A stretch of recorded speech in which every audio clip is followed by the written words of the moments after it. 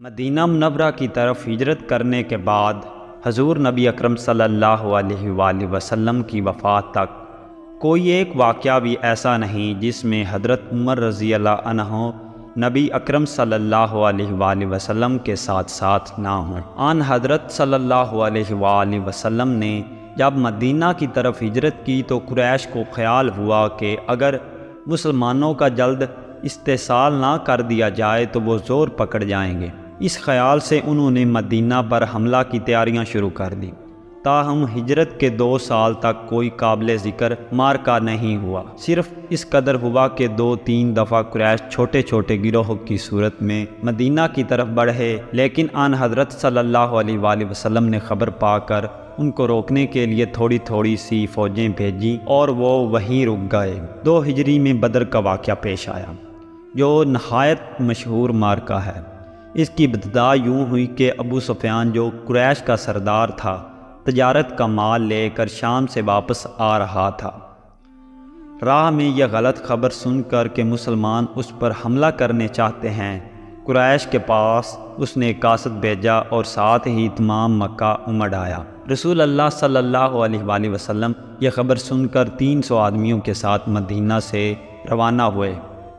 आम मरखीन का बयान है कि रसूल अल्लाह सल्लल्लाहु अलैहि वसल्लम का मदीने से निकलना सिर्फ़ काफ़िला के लूटने की गरज से था, लेकिन ये अमर महज गलत है। कुरान मजीद जिससे ज़्यादा कोई कती शहादत नहीं हो सकती। इसमें जहाँ इस वाक़ का ज़िक्र है, ये अल्फाज हैं। तर्जमा कुछ यूँ है कि, जैसा कि तुझको तेरे परवर दिगार ने तेरे घर मदीना से सच्चाई पर निकाला और बेशक मुसलमानों का एक ग्रोह नाखुश था। वो तुझसे सच्ची बात पर झगड़ते थे। बाद इसके कि सच्ची बात ज़ाहिर हो गई, गोया कि वो मौत की तरफ़ हाँके जाते हैं और वो इसको देख रहे हैं और जब के खुदा दो गिरोहों में से एक का तुमसे वादा करता था। और तुम चाहते थे कि जिस ग्रोह में कुछ ज़ोर नहीं है, वो हाथ आ जाए। जब अन हज़रत सल्लल्लाहु अलैहि वसल्लम मदीना से निकलना चाहते थे तो मुसलमानों का एक गिरोह हिचकचाता था और समझता था कि मौत के मुँह में जाना है।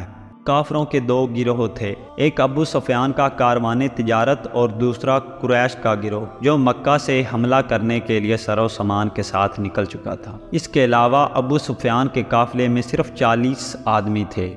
और अन हज़रत सल्ला अलैहि वसल्लम मदीना से 300 बहादुरों के साथ निकले थे। 300 आदमी 40 आदमी के मुकाबले को किसी तरह मौत के मुँह में जाना नहीं ख्याल कर सके थे। इसलिए अगर अन हज़रत सल्लल्लाहु वसलम काफिले के लूटने के लिए निकलते तो खुदा हरगिज़ कुरान मजीद में यह ना फरमाता कि मुसलमान उनके मुकाबले को मौत के मुँह में जाना समझते थे। बहरहाल, आठ रमज़ान दो हिजरी को अन हज़रत सल्लल्लाहु अलैहि वसल्लम वसल्लम 313 आदमियों के साथ, जिनमें से तिरासी महाजरीन और बाकी अनसार थे, मदीना से रवाना हुए।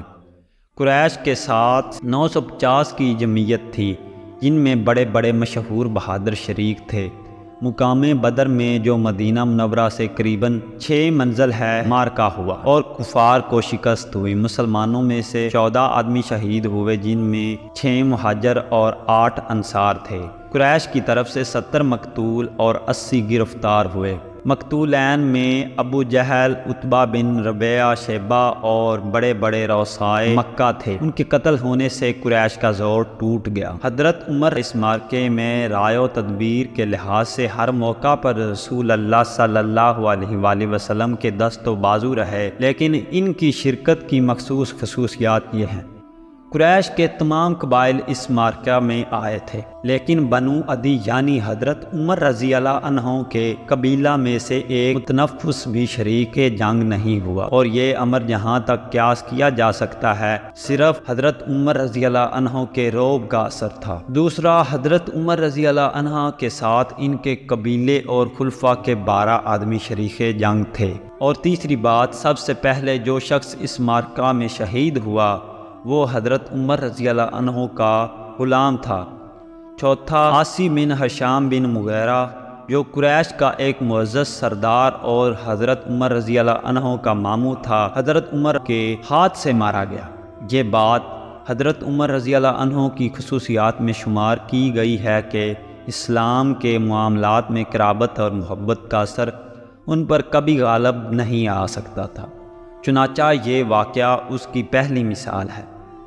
इस मार्का में मुखालफ की फ़ौज में से जो लोग ज़िंदा गिरफ़्तार हुए, उनकी तादाद कम बे सत्तर थी और उनमें से अक्सर क्रैश के बड़े बड़े सरदार थे। मसलन हज़रत अब्बास रज़ी अकील हज़रत अली रज़ी के भाई अबुल आस बिन अर्रबी वलीद बिन वलीद, इन सरदारों का ज़िल्लत के साथ गिरफ़्तार होकर आना एक इबरत खेज समा था, जिसने मुसलमानों के दिल पर भी असर किया।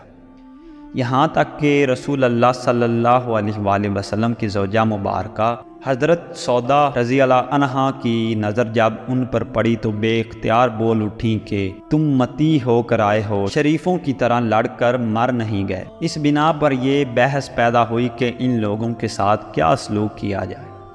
रसूल अल्लाह सल्लल्लाहु अलैहि वसल्लम ने तमाम सहाबा से राय ली और लोगों ने मुख्तलिफ़ आराएँ दी। हज़रत अबू बकर रज़ी अनहों ने कहा कि ये अपने ही भाई बंद हैं, इसलिए फ़िदिया लेकर छोड़ दिया जाए।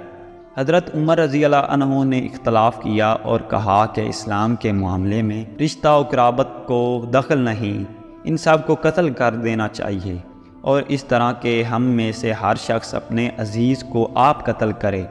अली अकील की गर्दन मारें, हमज़ा अब्बास का सर उठाएँ और फ़लाँ शख्स जो मेरा अज़ीज़ है, उसका काम मैं तमाम करूँ। अन हज़रत सल्लल्लाहु अलैहि वसल्लम ने शान रहमत के इकतदा से हज़रत अबू बकर सदीक की राय पसंद की और फ़िदिया लेकर छोड़ दिया। इस पर यह आयत नाजिल हुई। तर्जमा कुछ यूँ है कि किसी पैगंबर के लिए ये जेबा नहीं कि इसके पास कैदी हूँ जब तक कि वो खूब खून रेजी ना कर लें। बदर की फतह ने अगरचे कुरैश के ज़ोर को घटाया, लेकिन इससे और नई मुश्किल का एक सिलसिला शुरू हुआ। मदीना मनवरा और उसके इतराफ़ पर एक मुद्दत से यहूदियों ने कब्ज़ा कर रखा था।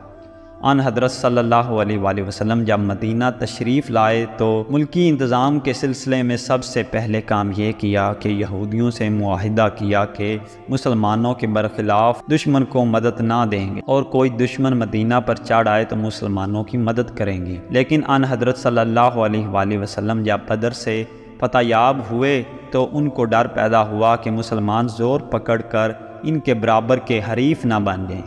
चनाचा खुद छेड़छाड़ शुरू कर और कहा कि क्रैश वाले फ़न हरब से ना आशना थे। हमसे काम पड़ता था तो हम दिखा देते थे कि लड़ना इसको कहते हैं। नौबत यहाँ तक पहुँची कि रसूल अल्लाह सल्लल्लाहु अलैहि वसल्लम से जो मुआदा किया था तोड़ डाला।